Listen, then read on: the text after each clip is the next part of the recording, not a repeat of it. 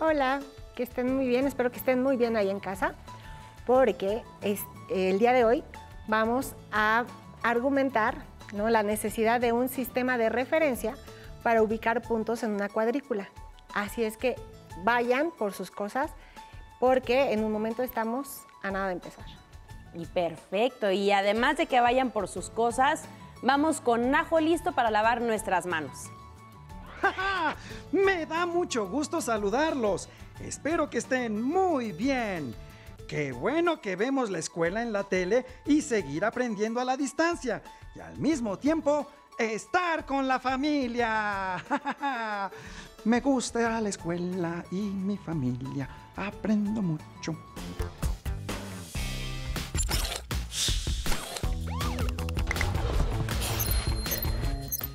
Atención, atención. A continuación, información importante. Lavarnos las manos varias veces al día es importante para prevenir cualquier enfermedad. Sigue estos pasos para hacerlo correctamente. Moja tus manos. Usa suficiente jabón. Frota tus palmas una con la otra. Ahora, frota la palma de una de tus manos contra el dorso de la otra entrelazando los dedos. Repite lo mismo con la otra mano. Frota los dedos. Ahora haz como que rasguñas la palma de tus manos para lavar tus uñas. Enjuaga tus manos con agua. Sécalas con una toalla. Y listo, tus manos están limpias. Si no tienes agua y jabón, usa desinfectantes a base de alcohol. ¡Cuídate! Y ya, espero que ya tengan las manos listas y sus materiales también ya listos. ¿Qué es lo que vamos a utilizar y hacer el día de hoy?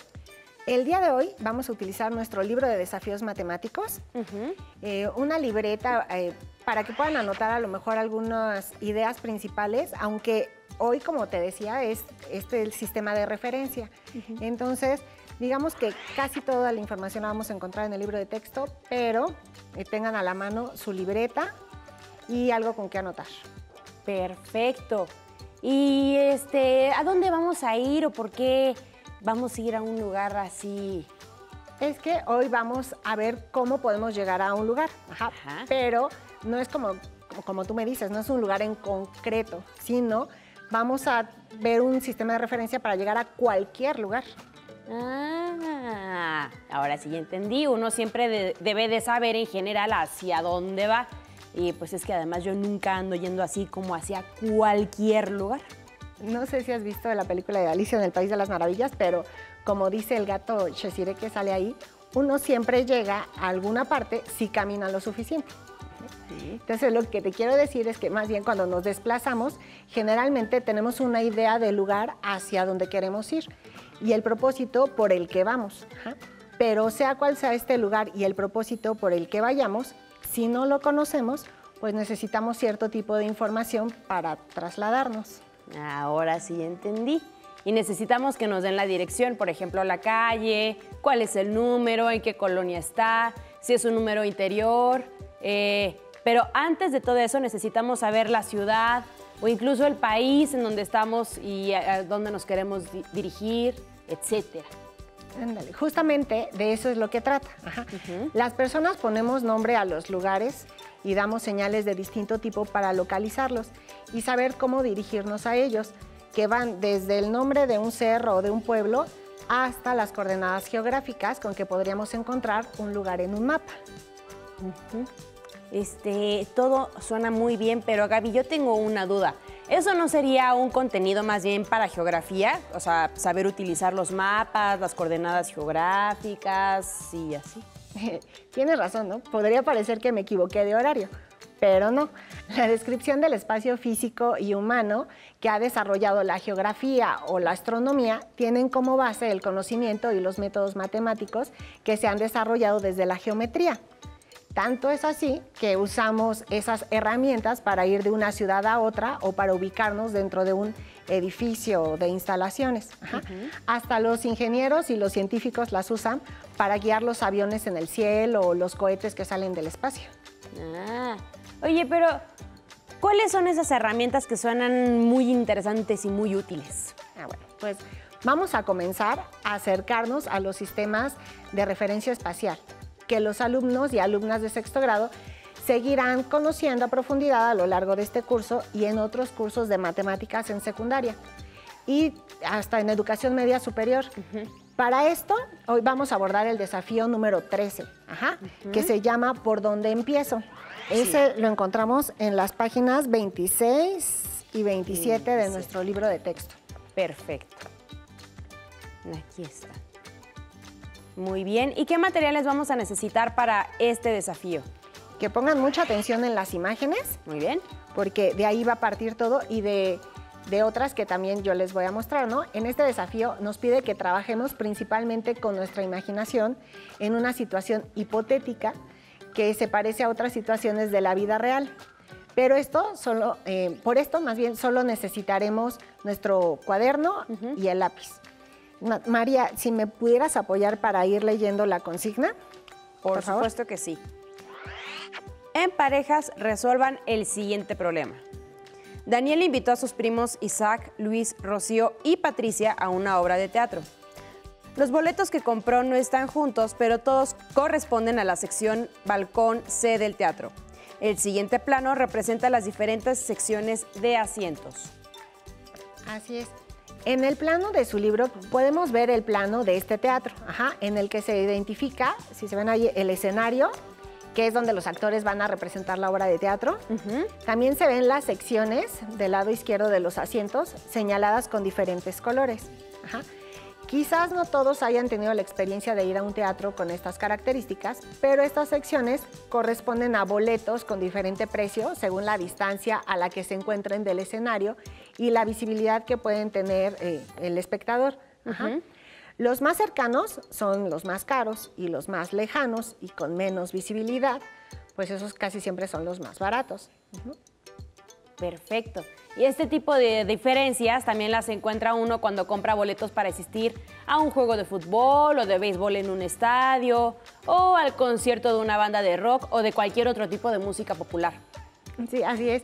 María, ¿qué información crees que les tiene que dar Daniela a sus primos para que lleguen a la sección del balcón C donde se encuentran sus asientos? Pues yo creo que lo primero que tendría que eh, explicarles sería, primero que nada, una duda que yo tengo. ¿Por qué no llegan juntos al teatro con el plano en la mano y entre todos buscan los lugares que les tocaron? ¿No sería más fácil y más práctico eso? ¿O por qué no les preguntan a las personas que atienden en el teatro dónde se encuentra la sección del balcón C? Bueno, sí, tiene razón, ¿no? El relato no nos da detalles que podrían ser útiles para resolver la situación. Imaginemos que Daniel invita a sus primos que están de visita en la ciudad donde él vive, pero que él llegara un poco tarde al teatro porque debe trabajar o ir a la escuela y no hay otro horario en el que pueda ver la obra. También podríamos imaginarlos que ellos pueden preguntar a los empleados del teatro, quienes amablemente, como tú bien dices, bueno, pues les darían información, ¿no? Pero Daniel quiere asegurarse de que no se vayan a equivocar. Entonces, lo importante es que imaginemos cómo dar indicaciones sobre cómo llegar a un lugar para una persona que no lo conoce. Bueno, hay un dato que no trae el plano, que es dónde se encuentra la entrada del teatro, por ejemplo porque dependiendo de dónde entren sería el camino que podrían seguir a la sección del balcón C. No es lo mismo que caminen desde la parte de atrás hasta esa sección a que caminen desde una entrada que está junto al escenario o desde una entrada que está, por ejemplo, a la mitad del teatro.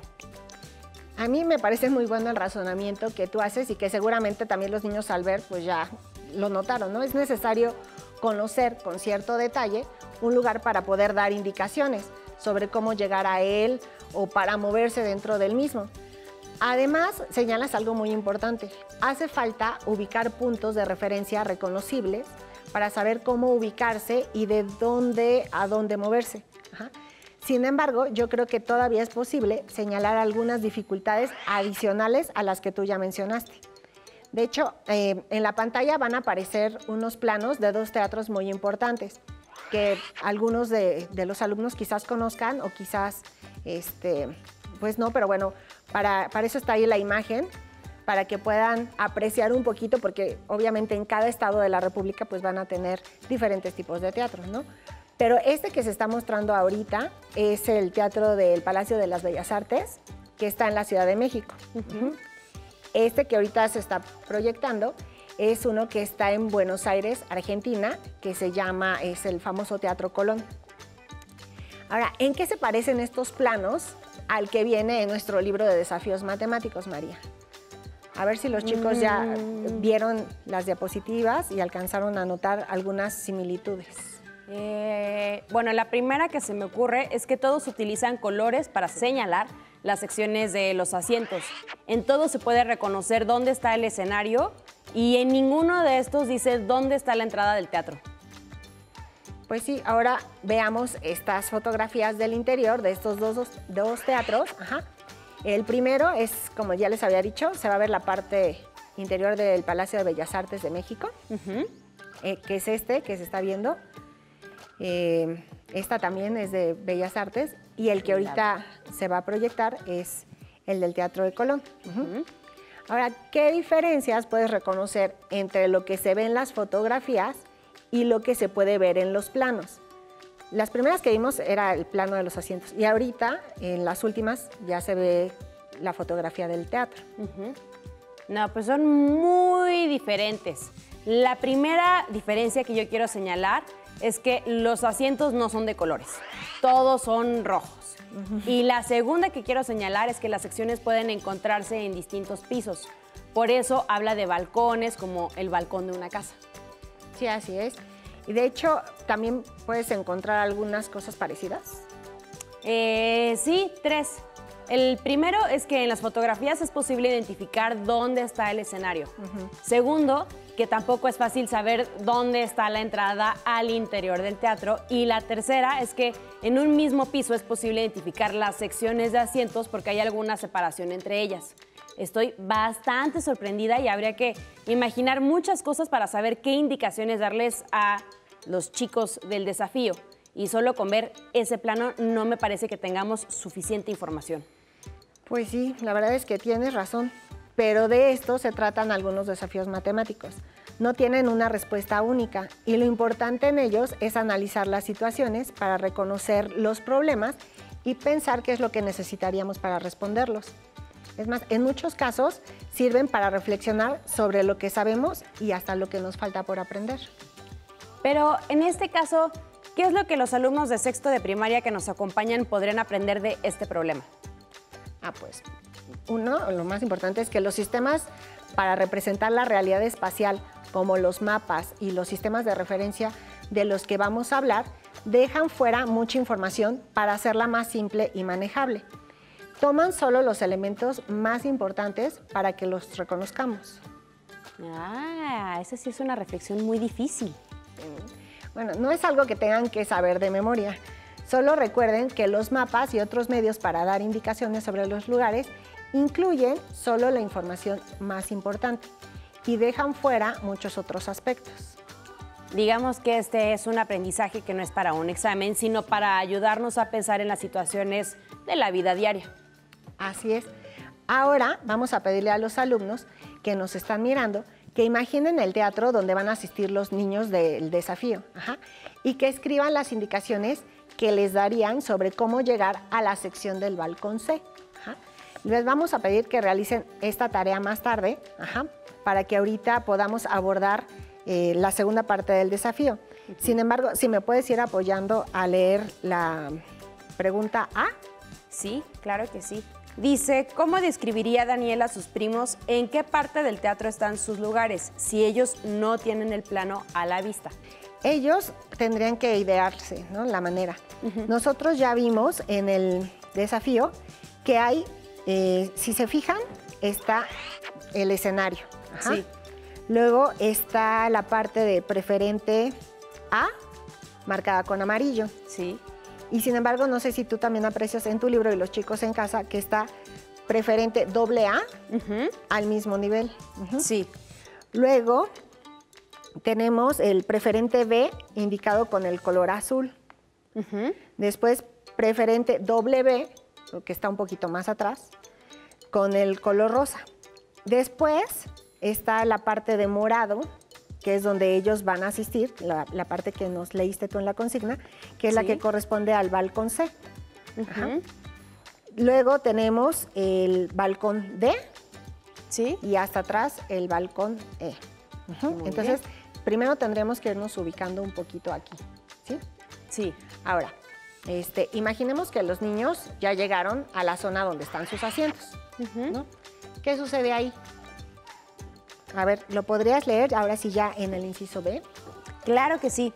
Dice, el siguiente plano corresponde a la zona de la sección Balcón C, en la cual se ubican los lugares de Daniel, Isaac, Luis, Rocío y Patricia.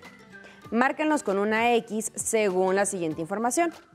El lugar de Daniel está en la segunda fila décima columna. El lugar de Isaac está en la sexta fila quinta columna. El lugar de Luis está en la quinta fila octava columna. El lugar de Rocío está en la tercera fila décima segunda columna. Y el lugar de Patricia está en la sexta fila décima primera columna.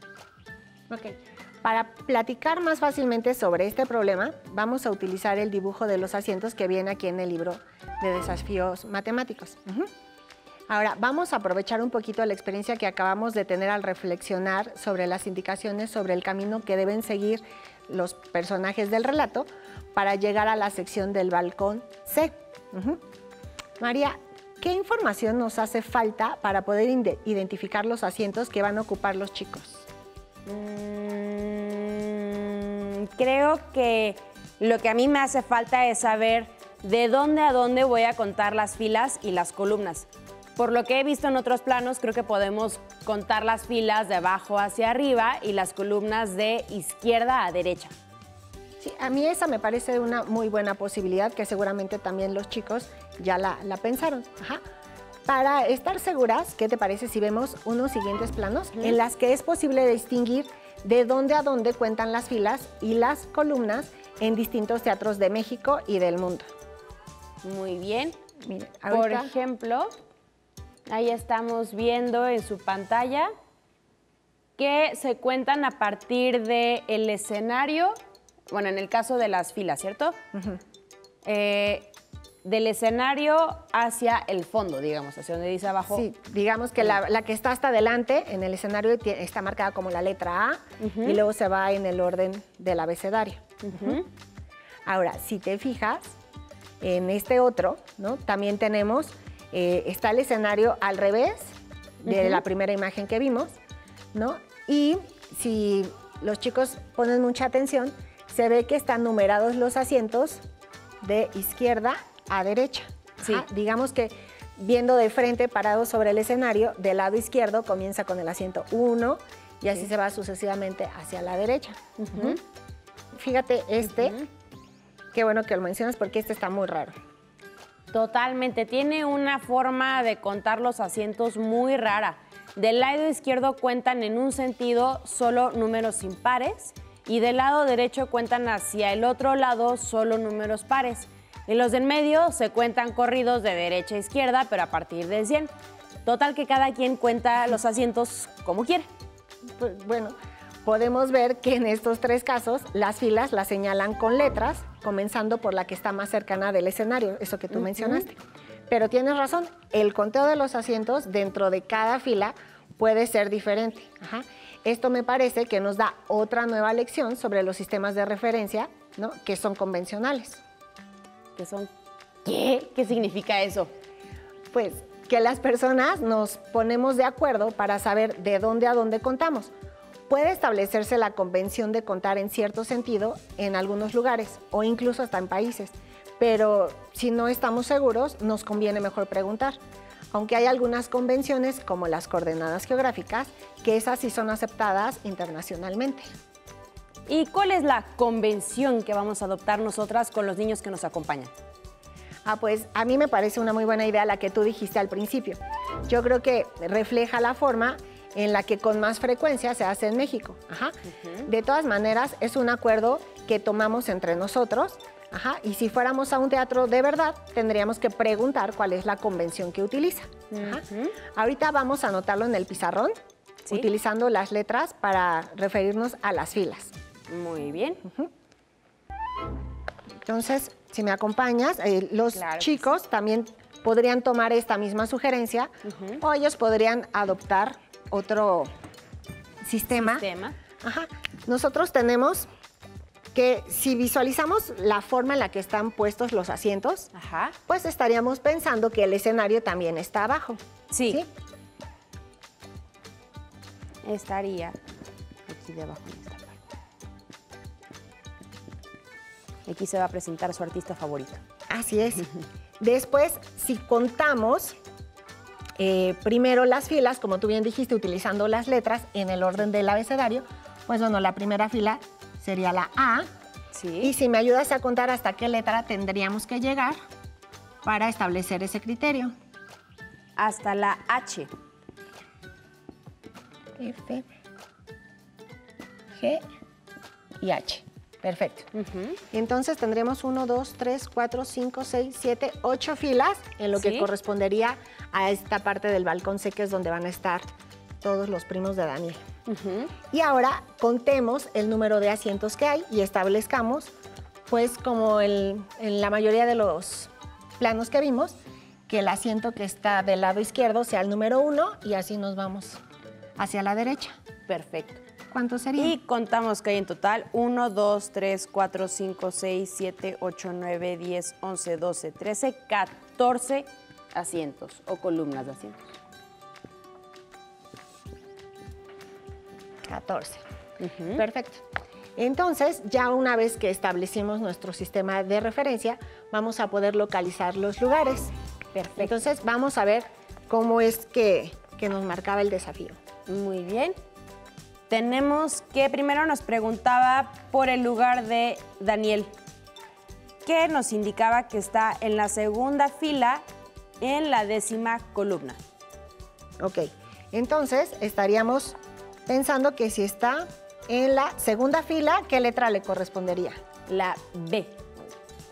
La B.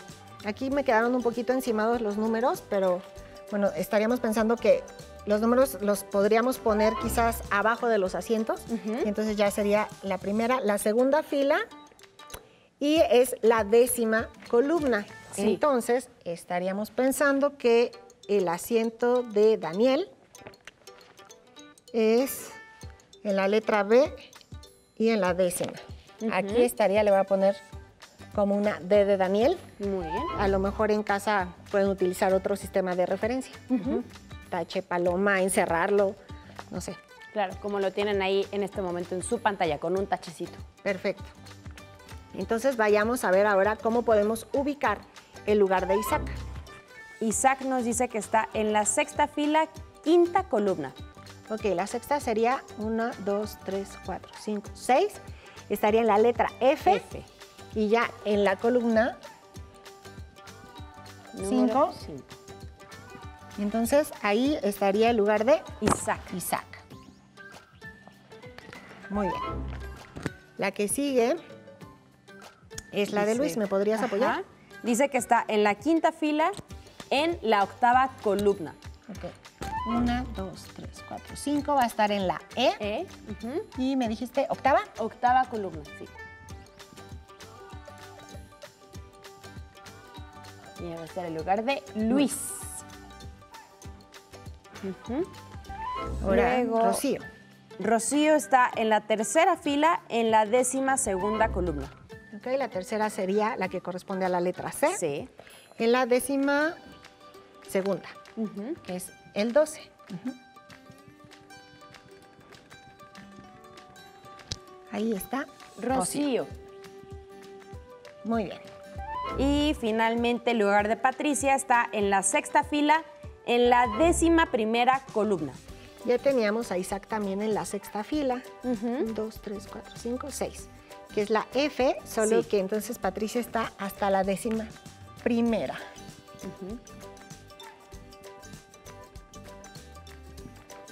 Ahí está Patricia. Perfecto. Entonces, ahora sí, ya que tenemos establecido nuestro sistema de referencia, pues sí es sencillo encontrar los asientos de cada uno de ellos. Muy bien.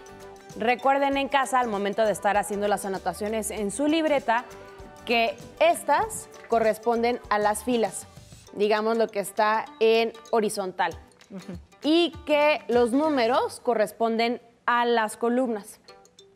Y en los datos que nos dan, primero mencionan el dato de la fila y luego el de la columna. Ok, vamos a dar la respuesta para que los niños tengan oportunidad de comprobarlo. Ahí ya lo tienen. Ajá. Y entonces, eh, ¿dónde le va a tocar ya sentarse a Luis? Que ya sabemos que sería aquí. Exacto. Si se dan cuenta, entonces cada uno podría haberlo resuelto de manera diferente, ajá, pero si todos ya establecimos la- el sistema de referencia, pues entonces sí todos tendrían que estar ubicando los lugares de cada uno de ellos, igual como nosotros lo tenemos aquí en el pizarrón. Con esto ya queda resuelto el, el desafío matemático. Ajá. Pero, pues primero tendrían que imaginar, ya saben, todo esto que, que mencionamos de cómo es el teatro, ¿no?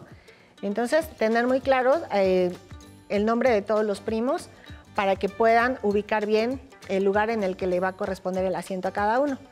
No se les olvide que cada uno, eh, sí es, más bien que todos juntos, aunque están en lugares diferentes, sí están en la parte que corresponde, ahora sí ya podrían determinarlo, es el color morado, ajá, en el primer cuadrante, porque si tomamos en cuenta eh, la referencia que dijimos que íbamos a empezar del asiento 1 de izquierda a derecha, entonces todos estarían en esta zona.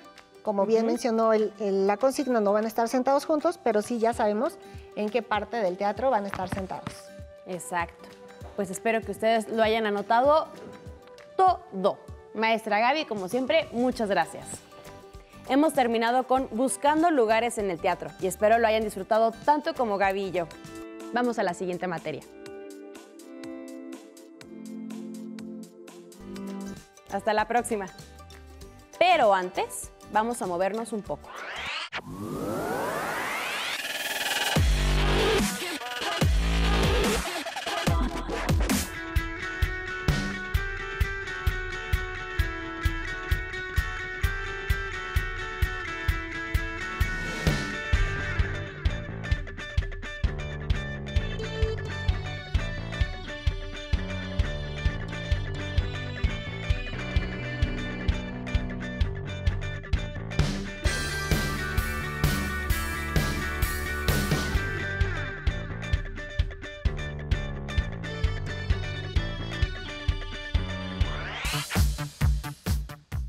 Tienes el libro de texto o necesitas ayuda para responder las preguntas, contáctanos.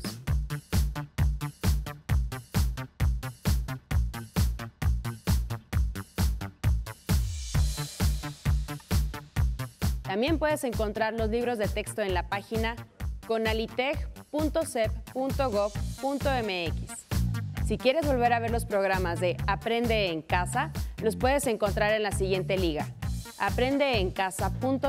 aprendeencasa.cep.gov.mx. No se muevan de su lugar, tenemos algo muy importante para ustedes. Acompáñenos.